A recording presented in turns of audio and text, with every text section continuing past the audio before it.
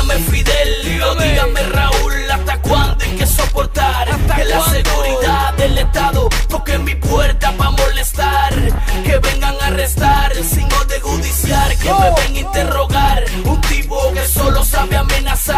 Cuba reconoció que el barco contenía 240 toneladas métricas de armas defensivas obsoletas. Para los afectados, estas pensiones representaban todo lo que poseían para sobrevivir. Los cibercafés tienen su limitación en cuanto a determinados sitios web. Por parte de, de CDR, por parte de la delegada, no hemos recibido ningún tipo de ayuda. Desde la fecha, muchos afectados todavía esperan por la ayuda del gobierno. Hay una orden de las autoridades que al que atrapen tomando imágenes será sancionado. Se prohíbe el acceso a la escuela con laptop, celulares y MP3.